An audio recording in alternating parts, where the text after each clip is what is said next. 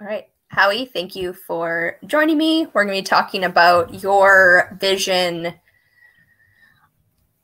of a project, of what it is you are looking to create in the world and what you're needing right now. And hopefully, the idea is this will give a foundation either to know how to move forward with your project or how to start with that crowdfunding spark that you were wanting yeah. to. Uh, so, what I have right now is a white paper. It's the second draft. Um, I was hoping to get feedback on how to improve it uh, from a couple of different people, and that kind of fell through. So I would have to figure out how to improve it on my own. Uh, but I, I, think it's a, a, good enough as a second draft to to get started. You know, uh, and what it is is a quant what I call a quantum neuron, but really it's just a high entropy neuron, uh, an object in computer programming which has multiple algorithms which output to connections to other neurons. And these algorithms can be combined in various ways or even isolated uh, so that they can, uh, you know, increase entropy in the com computational system. Uh, it does seem that entropy in a computational system is the source of more advanced function. Uh, so I, I, seek to uh, enhance the amount of uh, entropy in that system. So I'd asked you yesterday um, what you meant by entropy because I'm a scientist yeah. by trade. I was like, why? Yeah, uh, I don't quite entropy, know. In entropy usually world. refers to the the whole world and and the universe at large and particles. Uh, no, we're we're just talking about computational systems, not increasing the amount of chaos in the world. Don't don't need that. There's plenty of chaos out there already. Uh, yes, plus it's already happening. I mean, that's what the universe goes towards, is towards more entropy, uh, which isn't really chaos. It's actually kind of more order, but more like dispersed order, which is not. Yeah. As humans, we're going to experience this chaos for sure. It means less energy, less other things. But um, I don't understand computers and quantum enough to be able to um, understand why it is that entropy helps helps make it faster. But even if that is true, is there not trade-offs is it not like even what you were just saying about neurons i understand the brain i understand neurons i have biology i also have my own brain stuff going on that like a neuron is an individual unit that fires and then it fires the other ones as well that is yeah that's not living yeah. towards entropy um in a human brain a single neuron uh, it, it just carries out a single uh, transference of uh, a chemical uh, signifier or a, a, signal, a signal, a chemical signal. Uh, however, that chemical signal can go to multiple different neurons uh, adjacent to that individual neuron, and uh, that uh, that single neuron can also be used in alternative forms of processing. Um, psychedelics are are a very uh, powerful tool in understanding this because they cause more randomness in the brain. Uh, parts of the brain which do not normally communicate uh, then communicate with each other uh, while someone is under the influence of a psychedelic. Uh, so that that indicates that neurons can be used for more than one function. And uh, right now in conventional computing, we have neurons which essentially have one function, one algorithmic out output, and uh, but they output to multiple neurons. It, uh, and the way that it goes is that there are layers. There's a layer here, a layer here, a layer here, and it goes forward across the layers. Uh, the, the, signal goes forward across the layers and is altered by each uh, neuron's algorithm. and the the the whole theory is that at the very end you want a specific uh, output and if you don't have that output you have to go back and fix the uh, issues that are not giving that are causing the output to be something other than what is desired.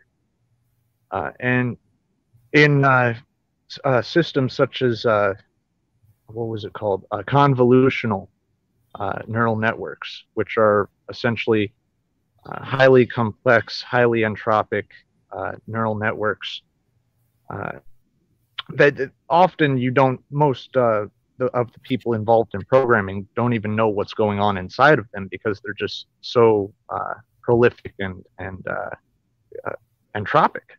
There there are so many neurons within them that it it would be nearly impossible for a single human being to understand what is going on in there. Um, so, but um, but so yeah. Sorry, continue on and then I'll ask. Go ahead. You had just frozen. Uh, I was going to ask a question, and then I forgot what it is. So continue on. uh, I kind of forgot what I was saying. No problem.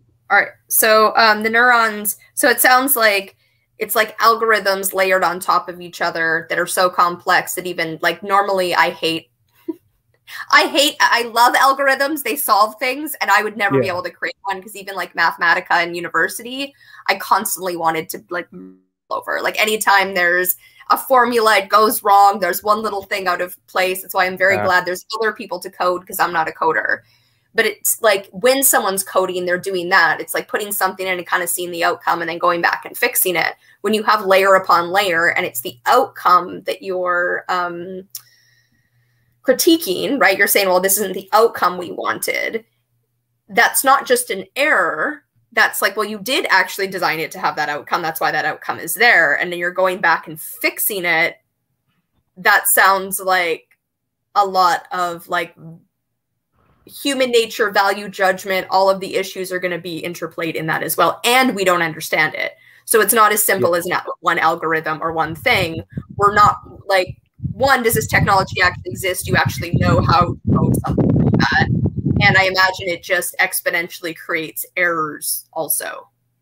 Yeah, and uh, from my understanding, the way that uh, these errors are fixed by humans uh, is by adding more layers of neurons, which further complicates the system and makes it uh, more incomprehensible to a human uh, analyst. And uh, if, if, you've ever seen any of those videos from Google DeepMind, with the, the weird trippy effects on uh, video footage. Uh, though that is uh, a visual uh, neural network attempting to understand the data that is, is uh, being put into it. Uh, and and that the the DeepMind has last I, I checked it was 1.5 billion neurons, which is a lot that would take a lifetime to read through. More than, yeah, for sure. So, um, what is it that, what is like a minimal viable product or a first step that this can be used and shown proof of concept on that can happen rather soon? Well, I have a, a design for a, a series of layers that comprise uh, 170 neurons.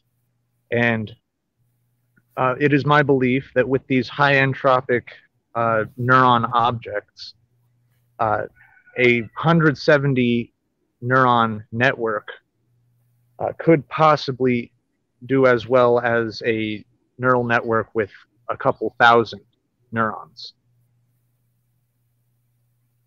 And a 170 neurons, if uh, programmed could only take up about 250,000 lines of code, uh, which is very possible. Uh, a single person could do that over the course of a couple of days.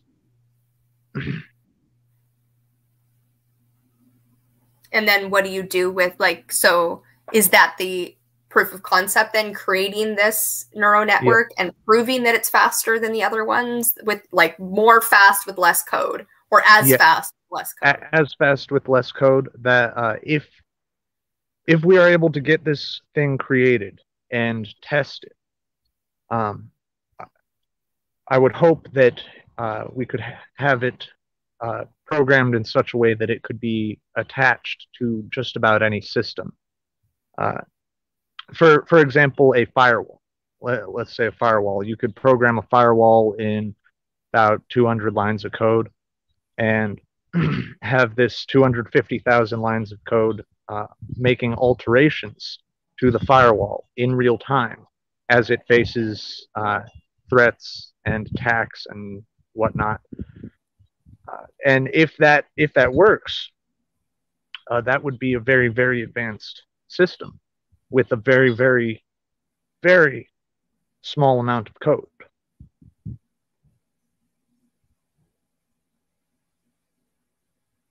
And so need to have that experiment to come to fruition. Yes. And my problem right now is that I only have my phone that I can use.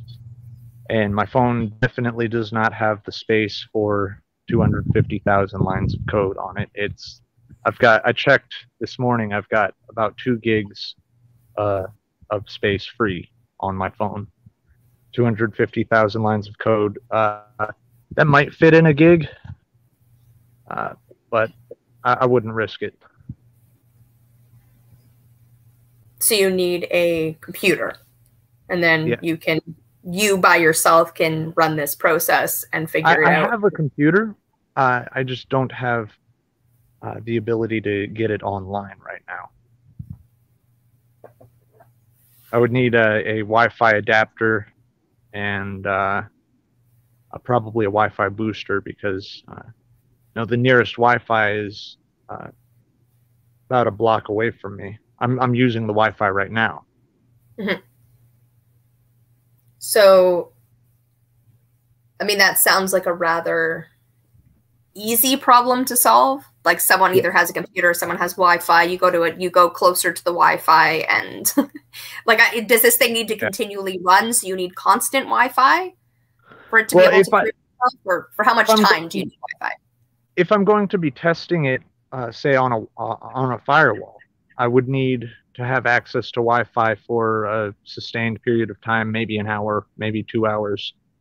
Um, in order to program the the the, the 250,000 lines of code, I could do that offline, but I wouldn't really have much of a way to test it, and I definitely wouldn't be able to send it anywhere. Uh, so, which which would yeah, be ideal. solve this. Like, what is the there's enough people that are interconnected with the pro- the previous project that either have computers or Wi-Fi or like I mean you don't have what you know what I mean. they have yeah. computers that are capable of Wi-Fi that you can plug in at any coffee shop and go and do that for a few hours. Yeah. So uh, my the, the, problem with my computer is that it's a it's a desktop. It is a big bulky desktop, and it would actually require either a specialized Wi-Fi adapter with uh, Linux capability uh, or an Ethernet cable, and that would just you know be problematic. Take a, a big bulky desktop into a coffee shop, people kind of turn their heads. Yeah, no, I wouldn't. that would not quite work. How I mean, it wouldn't not work, but you're right. People would turn their heads. Um, is there a reason that you can't get a laptop that does this so that it is something you can physically bring with you other places to show because i imagine having it on a desktop if you're trying to like show investors or future users doesn't really work anyway even if it's going to be on desktops that most people are using them. Well I, ideally uh, i would actually send them a copy of of the system so that they can try it out for themselves. Um, and then if they like it, I can make a more advanced system with more more lines of code, more more neurons in the network. Um, right now, the biggest issue with getting a laptop is that I don't have the money for it. Uh, I was planning on uh, getting my tax return and and using that to help fund some of my projects, and I haven't gotten my tax return yet. So when does the tax when the tax return comes, is that what you're going to spend it on? So it's just a time uh, problem waiting for that to come yeah. But the the problem is uh, I have no idea when when my tax return is coming. I've I've contacted the state revenue department and gotten no answers. Um, they they sent me a letter saying that I need to send in a tax return, which doesn't make sense because I have documentation proving that I did send in a tax return. And I just I have no idea what's going on. It's been uh, about three months, and I haven't gotten, you know, my my my money yet. Good old governments and bureaucracy. Yeah, I don't have yeah. a solution to that besides dismantle those and create better systems. But yeah. Yeah, there's there's lots of problems with government, uh, especially uh, you know my my state. Uh, our government is incredibly bureaucratic. It took me about three months to get an ID in my state. Uh, I I had to try every week for three months, and each time it was a different person behind the counter, and they kept asking for different information, and I kept bringing all the information I had brought before, all the information that had been requested of me before, and they kept asking me to bring more and more, and I, it just dragged out for three months. Yeah, I am employed by the federal government here, and it's not a. oh God. It's, it's bureaucracy. It's not that uh, not. But having so back to I did read your paper on AI. Like I said, I'm not versed on AI, but one of the things you talked about was like the risk factor of AI, which I'm definitely the project that we met each other through. Um, yeah. They cannot possibly see risk. They are blind to risk, therefore they can't mitigate for risk, and that is the scariest thing to me isn't that yeah. AI is scary. It's that if you're not going to if you're not going to acknowledge it could be scary, it's scary. Is that the paper that uh, I wrote for Physix? Yeah.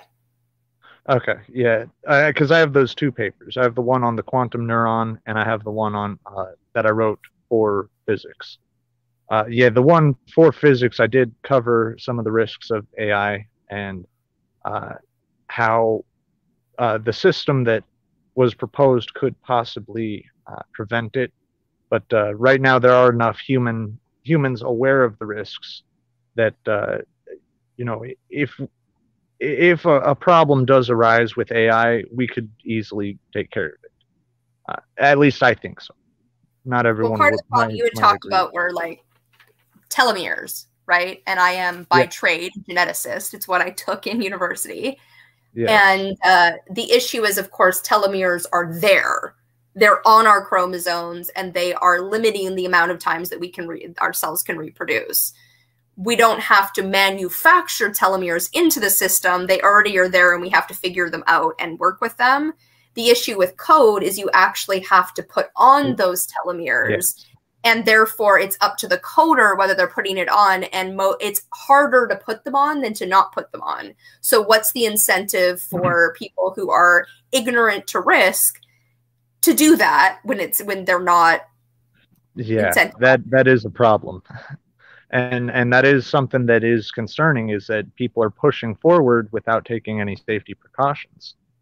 Um, uh, I specifically envisioned uh, digital tel- telomeres as uh, being necessary for self-replicating software, software which would, uh, you know, make uh, improvements on itself and make a copy of itself with those improvements. Uh, and the telomeres would uh, basically just be uh, uh, an object or or a couple lines of code which would say once you've reached this point in your development, stop reproducing.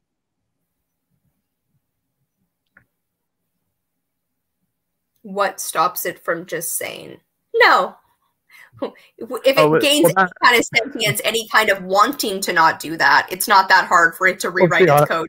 At that point, we have Skynet. At that point, we have Skynet, and we're screwed. right which is what we don't want so like yeah. if if the telomeres are there to stop skynet how does it actually stop skynet if it can just redo the redo the code well if uh if the telomeres themselves were separate programs from the ai and the telomeres had a higher uh what's what's the word um a higher place in the hierarchy of of uh, things because that's that's the way that uh, computer programming works. There's a hierarchy, uh, an order of things that uh, takes place. And if uh, and there's also levels of importance which are written into uh, computer code. Now, if uh, if the telomeres were given a higher importance in in their program than the AI itself, then the AI would not be able to override that unless it, it found a way to, you know, write its own code. But uh, w- hopefully, we would only have, uh, if we were going to have uh, replicating software, we would only have software which would make minor improvements and then replicate that and not just replicate until you know it is sentient. That that would uh, be uh, ideal. Yes ideal is not how the world works though so. Yeah. But uh, I, I do also think that uh, because of our limitations, our, our computational limitations of hardware, of hardware, uh, that that is also uh, kind of far off in the future. And that's we where do. my um, understanding of the complexity of where we actually are with technology isn't advanced enough for me to like. It's like my knowledge comes from philosophy and the media and like yeah. it, i don't know how to actually code it. I can just eh, like invoke the, the god of algorithm as like oh an algorithm solves that without actually writing it coding it doing anything like that. But i could also envision skynet. So it's like that. Yeah well I, line like letting I, it I learn letting it do it to help us without it getting sentience and taking over yeah and i, I find skynet to be just point, way too far off in the future uh, for in my view, Skynet is 40, 30 years off from, from right now. About uh, that, that would be much more of a hardware limitation, in, in my opinion. Now, I would hope to advance uh, software so that we could probably get to that point more quickly. Uh, but that would still, you know, let's say 15 years as opposed to 30. Uh, that that's still plenty of time to be prepared to uh, install pre- precautions and take uh, uh measures against you know a sentient computer taking control of itself or losing its mind. The issue, though, with a lot of the the AI, the envisioning of the dystopian AI future, is that AI learns faster and propagates faster than we ever can. So we're then in competition with the microbe, the microbes of this planet that out evolve us because they reproduce much faster, and a computer that actually can outthink us because when it learns and it grows, it can download copies for everyone in that. Um, like how can humans that are very fractured and can't agree on anything. Like, even if one person could see how to stop Skynet, we're not going to listen to that one person. And it's not going to be Elon Musk who comes up with the, how to stop Skynet. So, yeah. how do you actually, like, 15 years from now, we'll stop it? Well, we're letting it run amok? No. Like, it's like the, the no. equivalent that I can see in genetics is GMOs. And GMOs have run amok. GMOs can could have been it should have been still should be that you do not you're not allowed to put gmos on the market unless you make them self-terminating. Unless you make it they cannot interbreed with one another and they cannot interbreed with wild plants. You can do that rather easily probably yeah. easier than putting telomeres on technology but it costs money. And what's the incentive? Why would monsanto do that when they can just fuck it? All the um, externalities my understanding is that with those uh, those GMOs, uh, the vast majority of them are self-terminating. Like they only grow one generation. They may put out seeds, but those seeds are sterile, um, and this is due to copyright. Uh, Monsanto actually has copyright on its right. GMO. Legal. And it's it, legal. It's not biological. So biologically, yeah. it can go on and, and self, which is why people have sued them because it goes and breeds with their plant. Now your organic plant is no longer organic, and they get sued for stealing intellectual property because the bees brought it over. Yeah, that's that's a legal thing that biology doesn't give a fuck about, right? Like biology is not like, well, legally the copyright belongs to you, so we won't interbreed. They haven't done the actual technology to stop it from interbreeding, or it's a very kindergarten technology that the plant can easily out evolve and be yeah. like, well, a new way, a new mechanism. Yeah, um, I I do think that uh, that paper on the Q vote that I wrote for Physix uh, that does actually help out a little bit.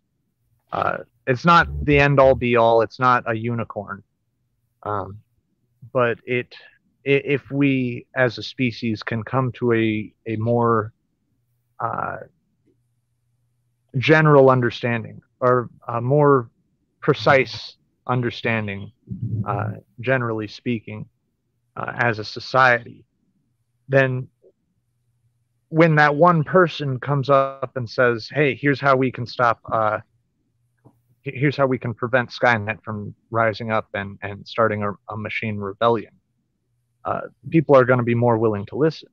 Uh, then, you know, it, if that vote thing actually exists at that point, uh, people who hear this can go and vote on it. And uh, as, as uh, amalgamated data is is uh, gathered, the the closest answer to the truth comes out by people voting on whether they think it's true.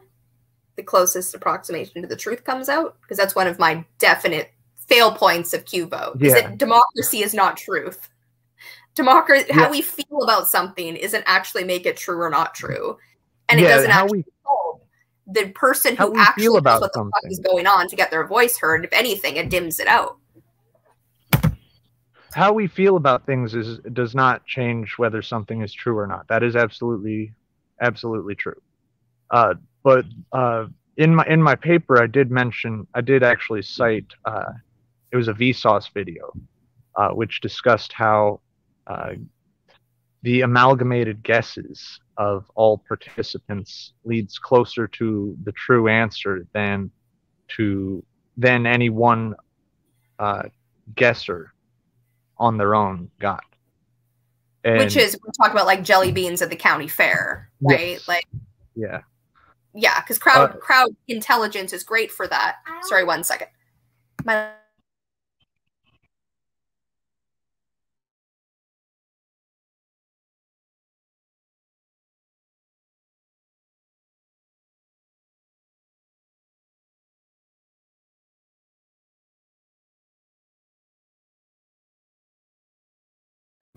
Very important. Guess the most popular LPS YouTube channel. Can that wait? Can that wait a few minutes? Anyway, sorry. Um, what were we just talking about before LPS YouTube entered my brain? Um, the jelly beans. Jelly beans, right? So that's a like there is a certain number of jelly beans in the jar, right? And yeah. so they know how many there is. If I underguess and you overguess, yes, we get the closest it's going to get closest with that crowdsourced information that any individual can do. That's really and, cool. It's one of the reasons I love crowdsourcing. However, let, us let, apply that within the context of of the Skynet thing. Let's say uh, there's five different people who have come up with different answers. One person says uh, we need to completely abandon technology altogether. Uh, one person says we should put in digital telomeres. One person says we should uh, uh, you know, put in certain restrictions, uh, such as like keeping the AI from interacting with the internet. Uh, you know, we, we get all these answers together, and we have different reasonings for these different answers, and maybe the answer is a combination of of some of these. Uh, I, I certainly wouldn't uh, speak with a, absolute authority on what the answer is right now. However, I, I do have my ideas. um, if more people are involved in uh, regulating the system, we could perhaps get much closer to a, a thoroughly preventative measure, which also does not completely obliterate the AI.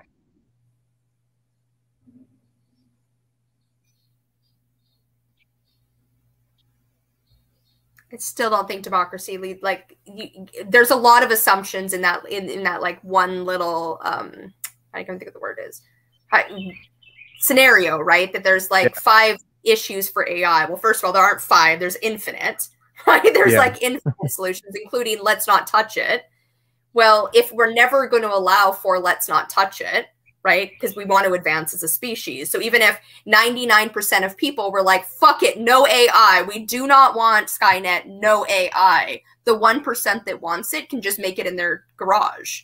Like there yeah. not a way to actually stop them. It's not a democracy. It's actually the person who's most willing to take risk with the least amount of, of safety net that's going to get ahead and do it because even if there's people who are willing to go with the democracy and are willing to listen to risk they're going to be at a disadvantage not an advantage. Yeah. Um, I, I think that uh, also having more people involved in the discussion would also have more eyes on it. More more programmers would be able to see what's going on and they would be able to intervene if you know the program began uh, taking a, a, a Skynet turn. Um, the more the more people you have, uh, like, like, let's say uh, a nuclear power plant, uh, you have these rods that go down into the block, which prevent a, a certain amount of neutrons from being released, uh, and uh, if an error occurs, you have a certain number of people in, in the building who can do something about it. But if you have more people who are actively watching what is going on, you have more people who can take action uh, in the event that an error occurs. Now, I'm not saying that that's the end all be all, but I I do think that that is a, a definite help. And like I said, I, I'm not sure. I'm not sure 100% uh, if I have the answer on how to prevent Skynet from forming. But I do believe that uh, we do have plenty of time to figure that out. And we do have, we already have several million programmers who are uh, paying attention. And in the future, that, that number seems like it will go up. Uh, and you know getting more people involved in in programming and getting more people involved in uh, AI specifically uh, would would provide more uh, more people who could intervene in the case of, of an emergency. Yes, I mean there's also the like my guess is Google probably has an AI department and they're not working publicly. They're not working out in the open. They're not being transparent. So we don't get to have a say in whether or not they're doing that. They have the money, they yeah. have the power. They don't need to do it publicly. Whereas people like you and I that are still trying to find the people, still trying to get those those things happening, we have to build in public more so to create that trust and create that that buzz. And although there's a there's a betterment to doing that in public because the public can trust it more that the fact that it's in competition with google that it's in like there's a again first to market and willing to take the risk for humanity is going to have an advantage over people who are like right let's discuss this to the nth degree right? Like let's have all the discussions and that's part of my again critique yeah. of Q-Vote and the like that it's just a, a colorful slider. It isn't actually a discussion tool in fact, that's where yeah. it generally part if you look at their platform it's like well what am i voting on? Am i voting on the the like thing that, that this person said about this? Am i voting on whether this thing makes me angry that it even exists? Or am i voting on the fact that it's like emotion's a bad gauge because you don't know. Why am i this is making me angry. I mean the, the thing we had earlier today right? Like it's like yeah. we're not necessarily reacting to the actual thing. We're reacting to all of our history all of our trauma all of and it's like I don't even know what I'm reacting to. And I've done a hell of a lot of interpersonal work to generally know what I'm reacting to. And I still always don't know what I'm reacting to. I know I'm angry. Yeah. And it takes me a while to be like, oh, I was angry about that. So having a news feed that you're just voting on is like, well, there's so much intercomplexity there that without like Nora Bateson's warm data and without integral and without all of the like interconnectedness you're like taking something apart and and saying like taking a watch apart and saying the components are the watch when it's not and that it's time and it's infinite yeah. it's a time machine. It's like it's none of those things. It's a watch you broke. Yeah it's like is pudding pudding before you mix it all together.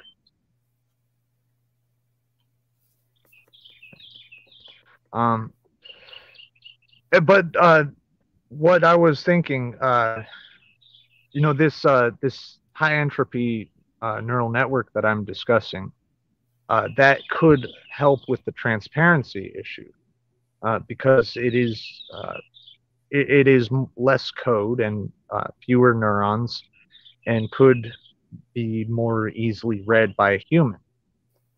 which means that there there would be much more ease of access for humans to understand what is going on inside of the the neuron, inside of the uh, system, and uh, well, that that by itself is transparency. And if uh, if there is a problem with it, uh, someone would more more easily be able to point out what that problem is, where it is located, and how to fix it. Yeah, that's the beauty of open source, but you're also in competition with people who aren't doing that, who at this point yeah. in history have an advantage for not doing that. But there are ways to judo that same energy against them. I just don't think AI and in like currently what's happening is the um most beneficial way because then you're you're literally talking about AI and they can see people like having the discussion, having the governing model around AI and anything someone could see if because I don't understand the code. I would never be able to see what's broken in it. But if I can actually trust, if there's actually a system where I can see that other people who know that information can see that code and they can see it, I can more trust that that um the experts in the system are going to be able to find those things. But if we're open and transparent as a society and we don't own the technology that we're using, like Google, like Facebook, and they're able to work in secret without a lo- awful lot of us with a lot of money and or power we like they can easily steal the idea that is come up with in that way and implement it in secret whereas we're having all the meetings all the governance all the time and they're they're easily able to steal that information yeah, and I have actually heard that uh, you know even YouTube uh, administration has no idea what's going on in, in in its algorithms.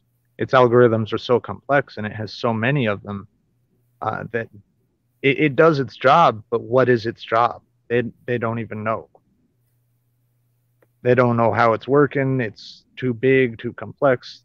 No one is going to be able to read, you know, those however many billions of lines of code are behind these billions of neurons uh, firing off.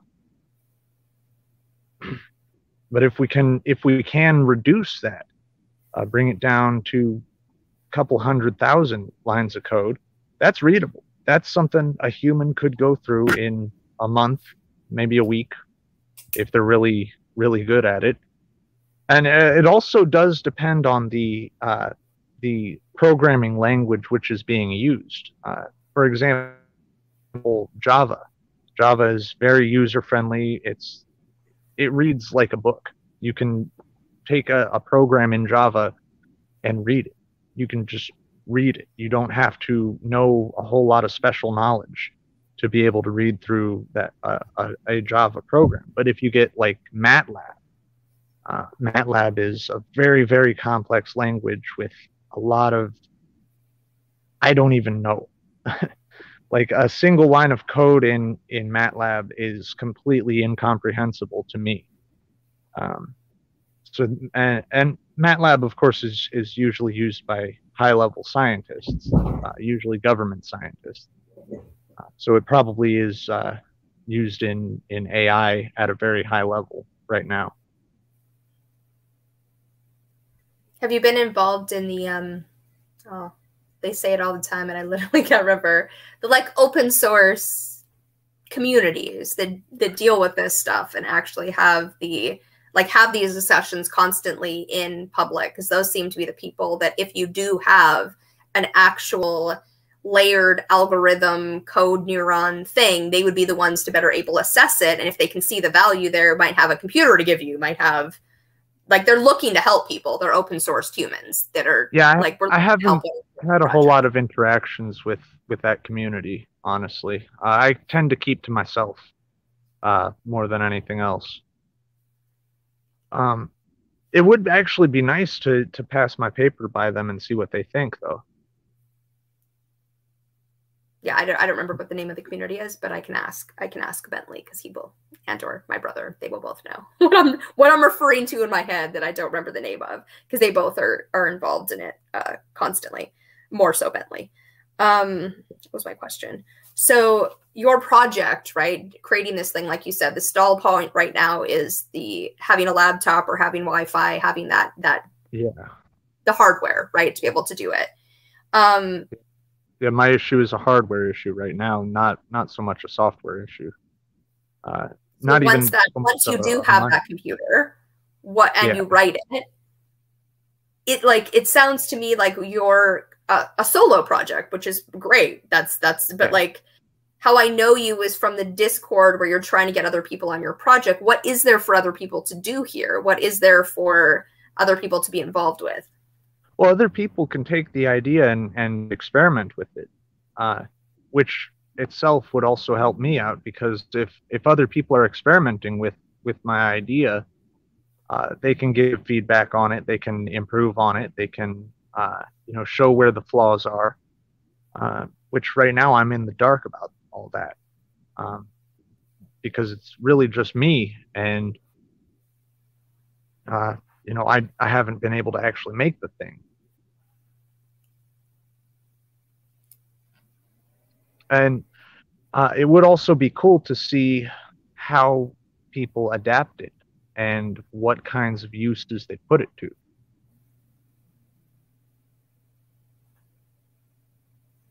Yeah I mean, but that also sounds uh, it's it sounds to me like um, with the my with the Together Tech project that I'm in, it's about like the project of projects, and we do show up and we talk about like our project and what's stopping it and how to move it forward, and trying to we have yet to, but trying to create the common tools that we all use. This doesn't sound like a project that somebody would need to leave theirs in order to cut. Like it does sound like your it's your project, your and you're needing feedback for like how to improve it yourself and people it's somewhat open source people can run with it and do what they want with that same information and it's about creating the interconnected community that um, you feel part of and a contributing member of uh, without necessarily having people on your project which may or may not work because they might want to take it in a different direction or then you have to figure out governance and funding and everything else yeah. when you it's more complex when you have other people involved for sure yeah um, honestly, I'm not sure what I was doing with with uh, you know taking taking all those people and work, trying to work with them. Um, I think I was trying to help them out more than anything else, but that seems to be falling through.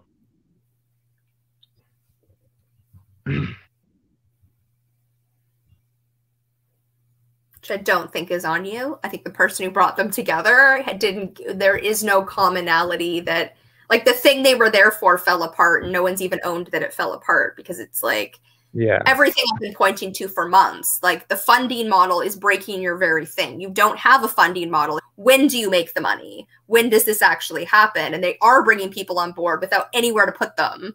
And then they get yeah. in conflict because it's like, then when there's money involved, well, who's getting the money and who decides on what? And there's no, governance structure. And this is, I am someone who I deeply believe that technology is a tool we can use to get us to a better, beautiful world. But technology itself is not the answer because we're still human. And that was the other solution to AI. I think I read in one of your papers, um, which I think is the more key one and it's the harder one to do, but it's more feasible than telomeres, which is humanity evolves to the point yeah. that Skynet, it, the Skynet's obvious job isn't to kill us, right? Like we get that when AI becomes sentient, it's, it's a baby. It to kill the humans. It's what we would do if there was another species.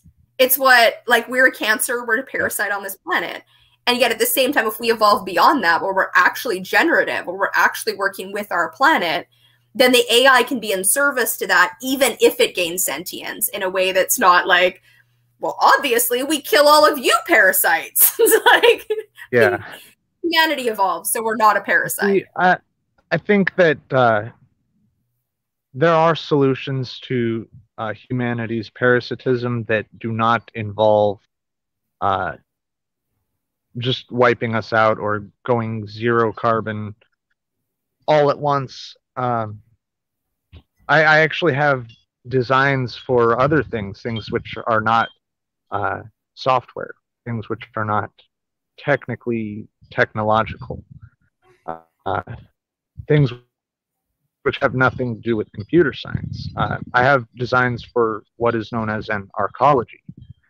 And an arcology, I don't know if you're aware of what an arcology is. Are, are you? Nope. Uh, an arcology is basically a gigantic building, which is a self sustained city in and of itself. Um, now, these are generally in sci fi, but I have a design which uh, sort of makes it an, uh, a somewhat open system. Uh, you have these towers, right? And the towers are set up in a grid uh, format. And in between the grid, you have uh, like gardens or public spaces. And you can actually hang uh, fake land, artificial land from in between the towers to create more space. And and it is technically feasible, uh, but it would be in- incredibly costly. And I definitely do not have the funds for that. Which is also, I mean, anything, right? And this isn't on you, but like you don't know whether something works until you actually build it and play with it. And yeah. I know from human history that we really like creating things like biodomes and enclosed systems, and we never get it right. I mean, the closest we've yeah. been able to do the stuff that goes to space because it has to. You have to recycle your water. You have to, and even that isn't infinitely recycled. You can't infinitely live in space. You have to have the people who live in the space station have goods and like brought to them constantly. If humanity goes under, they're dead. We're, they can't live up there and indefinitely with their system. Yeah and you know when we've created biodomes it's like we always forget a very intrinsic piece of it like oh we can't sterilize the soil and then have it grow stuff because it turns out there's more to soil than just inorganic material. There's organic material there's and protein there's that's so much actually part of why biosphere the the biosphere 2 project from uh 19 the early 90s i think it ended in 1992 but technically is still ongoing. But they opened it up, and now it's basically a museum. Uh, the problem that that they had uh, when they had that catastrophic uh, loss of oxygen and, and decline in food, that was actually they chose a kind of cement that interacted with the bacteria in the soil in such a way that it began eating the oxygen. And they, they have fixed that but no one's gone back and, and tried to seal themselves up inside of the biosphere.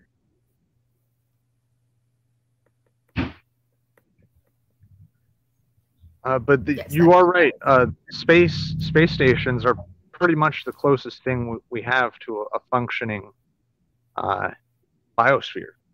Uh, I mean, we have a really beautiful biosphere. We just fuck with we, it. Yeah, we have a very beautiful biosphere. We, we just keep destroying it. yes, uh, yes. The, the the the artificial biospheres, the most functional ones, are the space stations because they have to be. And you are right; they they also have to have supplies uh, constantly shipped up to them, uh, which is very energy consuming and also causes damage to the land here because when we send rockets up, we're basically polluting the air and any debris that falls off also falls into the water and gets in there and pollutes that. Uh, I have seen systems. Uh, have you ever heard of aquaponics? Yep. Uh, aquaponics is really cool. Uh, for people who don't know, an aquaponics system is essentially a hydroponic system which uses fish instead of uh, actual filters, uh, artificial nutrient sources, and and whatnot. And the fish, uh, the fish live off of food that is grown in the system. Uh, the fish defecate and urinate, and that goes into the water, which then is funneled out into the rest of the system where it feeds the plants, and that's that's very efficient. It's it's a a very functional cycle, uh, which which, uh, if done right, can produce an overabundance of food. Uh, there was a family, I believe, in New Mexico that had an aquaponics system built into their pool. They had a, a backyard pool and they converted it into an aquaponics system. They had tilapia growing in it. They used duckweed, which is technically a superfood, to filter the water, and duckweed is edible. So they fed it to their fish, they fed it to their chickens, they fed it to themselves, and they duckweed grows. it, it is a weed. It grows a lot. It it grows exponentially, and uh, so you you have to take the duckweed out of the filtration system, otherwise it clogs up and causes trouble. So you have to eat that. So you can end up with an abundance of food just from that alone. Uh, but given the uh, reproduction rate of tilapia, uh, they actually th- this family had to get at least one fish out of their pool every day, otherwise they would overpopulate and kill themselves off. So that that's two sources of food, which. But tilapia is not. What was that? Like it's not a, it, a tilapia. They're not like how many a, a grown adult if they were getting all of their calories from tilapia. Would they? How many would they need to eat a day? One. Uh, I don't I really think, know how big tilapia are. I think uh, that would be closer to five. If they were only eating tilapia, you would have to eat about five to get the, to to match the 2,000 calorie rate uh, of the the daily recommended diet. So one tilapia um, a day. But that's, that's an overabundance isn't actually enough to sustain even their family.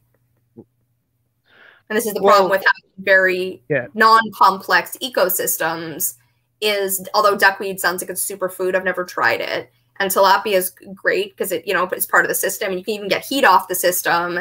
The the less species there are in your ecosystem, the more as an individual you're not going to be super happy because I don't want to live off of duckweed and tilapia. Yeah. And the more you're not going to be able to if there's a problem, right? If there's if there's a, a new bacteria that eats tilapia, then the, it collapses. Whereas again, the biosphere we actually have is really yeah. great because it's more interconnected and and it feeds yeah, the, the family that I'm referring to, they did grow other plants as well, but generally, uh, you know, tomato plants take several months to to reach maturity. Um, peppers and and uh, gourds of various sorts can take almost a whole year, uh, depending on the climate. and uh, so they did have other other things to eat, but that was their primary thing because they have to take it out every single day. Mm-hmm. They have to clear out uh, duckweed and at least one fish every single day, otherwise the system collapses. But that's that's something that I see as a positive. When you have to take something out of your system in order to prevent it from overpopulating, I see that as a good thing. It's uh, producing abundantly. Yeah, I mean it is yeah. a thing. And, if you want uh, I do see, like I would rather do it the other way around, and it's you cannot do it on a family scale. But having it be like I don't, I don't want to eat tilapia and duckweed. I want to eat what I eat, yeah. and then I want that produced by the system in a way that's sustainable, and then it feeds back into the system so that if we run out of tomatoes, we know next year we have to grow more tomatoes. And what does that look like to give tomatoes what they need so I can get what I need, as opposed yeah. to like even companion plants. I'm like eh but i don't want the companion. I'm like i don't want the legumes. I only want the, I, want, I want the berries. I don't want the this. And it's like nature doesn't necessarily produce in a way that we want but then there's pigs and things that can eat the stuff that we don't like that we can eat them yeah. then. And it's like the more species there are in the system the more it can work but but like i i do see a lot of potential for a system like that. Um you you could go any route with it, really. Uh, I've envisioned a system basically using a, a swimming pool, but uh, a saltwater system, which uh, uses shellfish as a filtration as opposed to duckweed. And with that sort of system, you could have, you know, multiple kinds of shellfish. You could have clams, mussels, uh, crabs, shrimp, all growing side by side. Uh, and then in the actual fish container, you could have multiple species of fish. You could have uh, a couple kinds of seaweed. Uh, seaweed is a superfood. Uh, I like seaweed. I wouldn't eat it every day, but uh, and then, of course, that would then cause a problem because you can't feed land plants using uh, salt water. Uh, that would dry out the soil. That would cause damage to the roots, and that's just not good. But uh, so I have a couple know, more minutes, and I gotta go. Is there anything right. else you want to say about AI or what you need for the project or what kind of people maybe looking for like what is definitely easier than a group of people to work with is one person to work with. I have a way to get to a better beautiful world that's going to take 10,000 people and my project yeah. has stalled at this one person particularly her and I working together and it's actually perfect that it's stalled because we're iterating and, and making it work for us that will then make it work for the system. And we work well together. And I'm like, oh, I don't know if I'd work well with you if there were other people involved right now. It works really well one on one because then you're like negotiating with one person instead of with 30, right? Or with 20. And if you can't negotiate with one, you can't do it with 12. So if you were if you were going to find a partner to work on this with, what would that partner look like if that's if you uh, like someone that? Someone who is as avid of a researcher as I am, someone who is open minded enough to engage with ideas that might seem nonsensical on the surface but could have use uh, if distilled down. Um, really, uh, someone who I, I can actually discuss complex ideas with. Uh, and uh, have have them actually be able to provide feedback.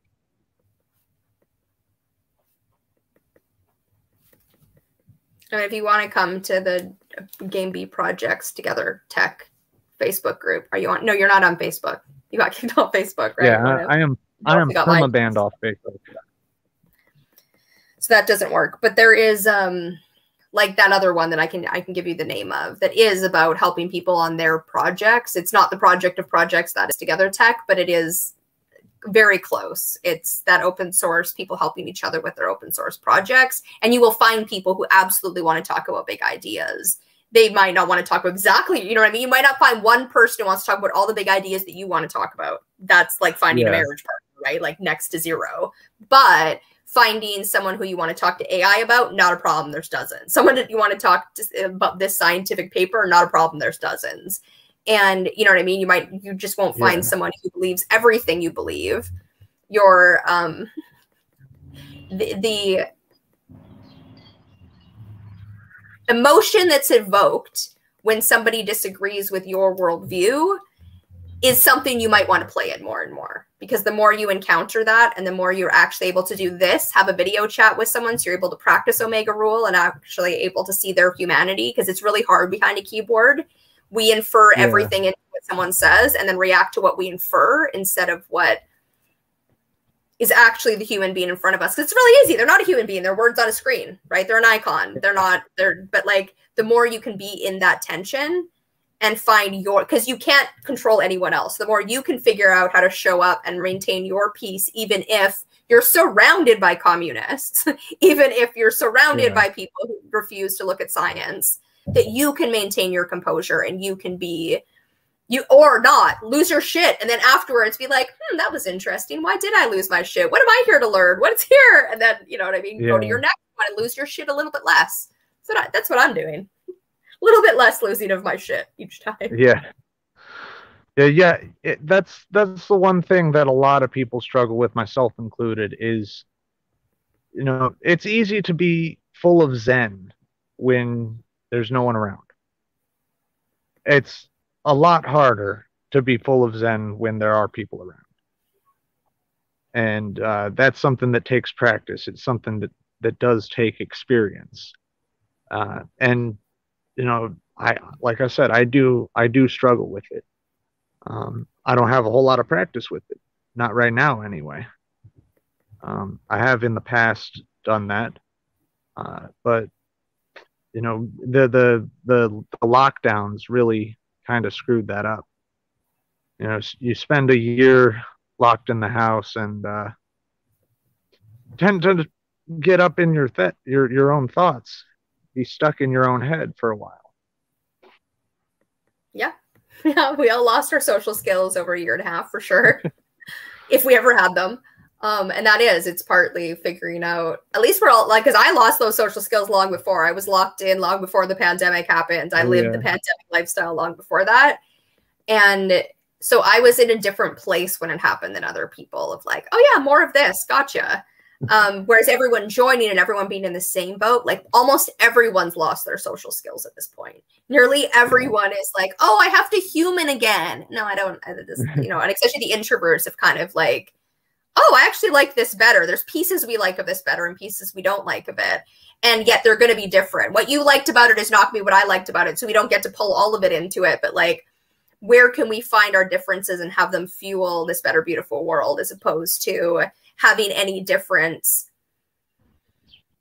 knock us down to like okay well then if we can't agree on what economic system we're going to use or political system we're going to use then you have no value to me and you're an it versus yeah. you know, something i can de i can dehumanize versus like what is because i would i would highly suggest sitting down with people who describe themselves as communist until you can maintain your composure. Because if you want to murder communists, that's on you. That's not on them. Like that's that's your thing. I, I did do that back at the at the beginning of the year. I actually had a communist.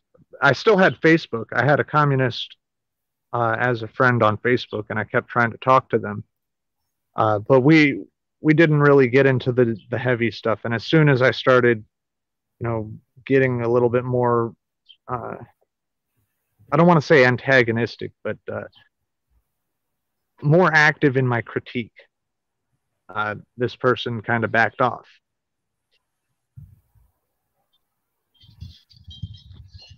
Which is fine. it's not, they're allowed to back off. They're allowed to. Yeah, they're, to they're allowed to back off. But it, it, it, people backing down doesn't really, you know, lead to better understanding. And it doesn't. Uh,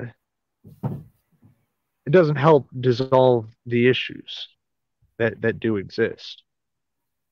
Um, no, but nor does, believe, nor does debating and arguing.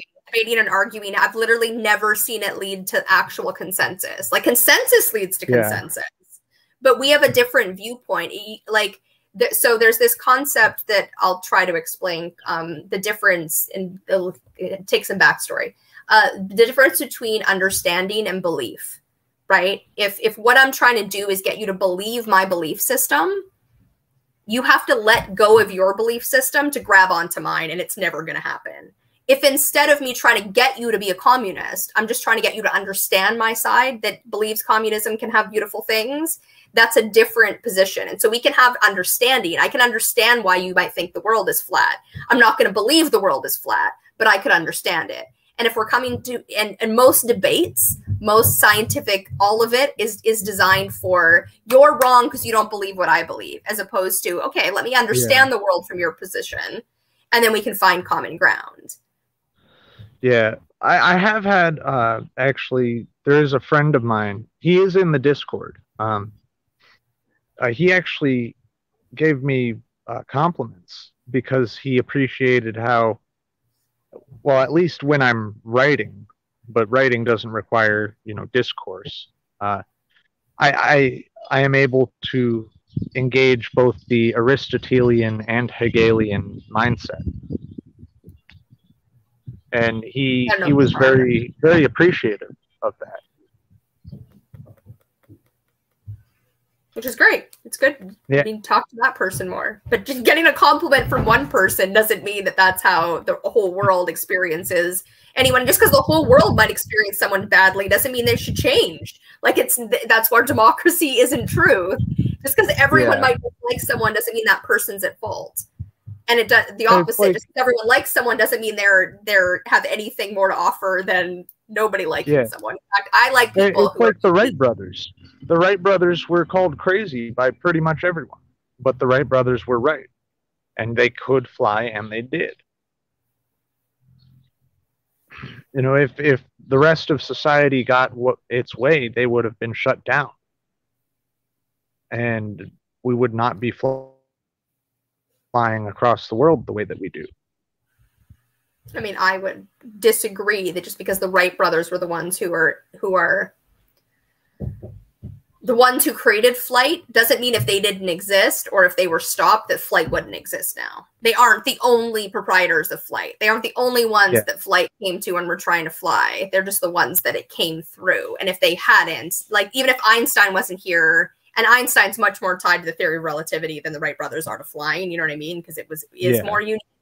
That like even if Einstein wasn't here, we'd still have the theory of relativity. Like it's it's we just wouldn't have it in the exact same way we wouldn't attribute it to Einstein, but we would. That's what science is. That's what innovation is. Eventually, it'll come about. It's just and, who do we know as the person who invented it? And it, it probably would have happened later on too. These people were the first, and it, it they they took directions that other people weren't really taking at, at that time. I mean, eventually someone would have come across that that uh, that method but it uh, God only knows when they would have come across it. So, I mean, yeah. we could be like if Einstein didn't exist, we could be living in a world where right now we don't have nukes. Uh, but then right. we also wouldn't have nuclear energy. And the Cold War would probably not have been a Cold War, but a World War. Or we could not have new like with the thing we don't know until we actually yeah. live that timeline and then that's the timeline yeah. that you all know it as okay i've got to uh, get going so i'm going to end the recording i.e going live thank you for all right. hanging out thank you for having me